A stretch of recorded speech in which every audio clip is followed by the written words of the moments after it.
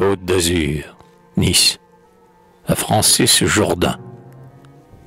L'Écosse s'est voilée de ses brumes classiques. Nos plages et nos lacs sont abandonnés.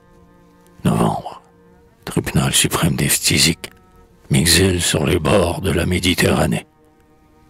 J'aurai un fauteuil roulant, plein d'odeurs légères, que poussera lentement un valet bien stylé. Un soleil doux vernira mes heures dernières, cet hiver, des Anglais.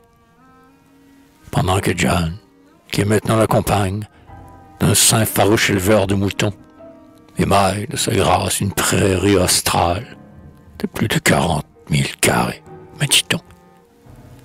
Et quand le sang pâle et froid de mon crépuscule reterner le flot méditerranéen, là-bas, dans la Nouvelle-Galles du Sud, l'aube d'un jour d'été l'éveillera. C'est bien.